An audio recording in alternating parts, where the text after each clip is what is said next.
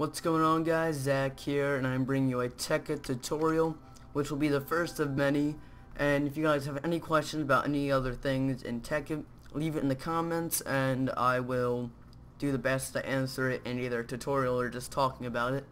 And what I'm going to show you today is the obsidian pipe, and I'll try to do one of these every other Wednesday, but uh, depending on when like if you guys actually post comments. If you guys post comments, I'll try to do one every Wednesday.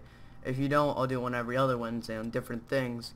And then our mine and Kevin's regular Tekkit series will be on Sundays, which uh, I just missed Sunday, so we'll start up next Sunday.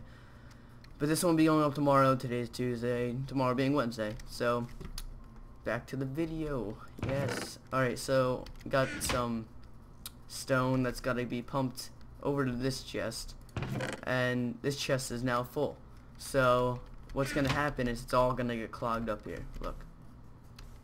So the stone's gonna pump out here and once it hits this it'll yeah.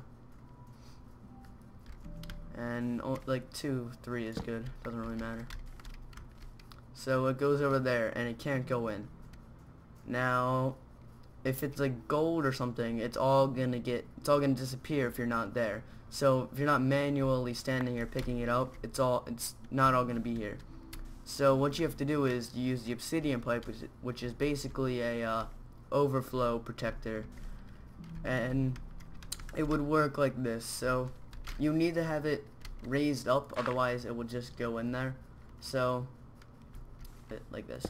So you want your engine underneath a bit but then you can't put uh, an obsidian, you can't put anything on top of the engine, so you have to make a little roof like that and put it right there so that way it actually works.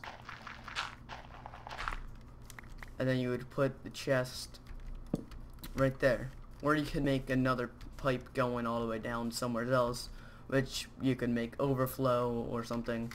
But this all will catch this. Uh, turn on this engine turn back on this engine. So as the stone goes down, let's go like, uh,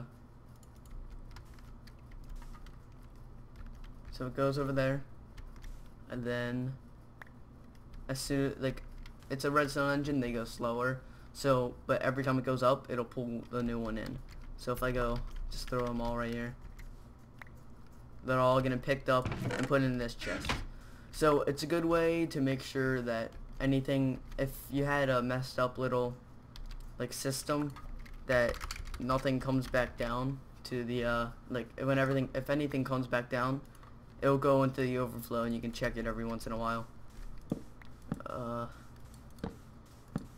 so once again, I'll show you guys this little setup I have. Yep, gotta turn on some peaceful. So thanks for watching guys, check out my other videos, and I will see you later.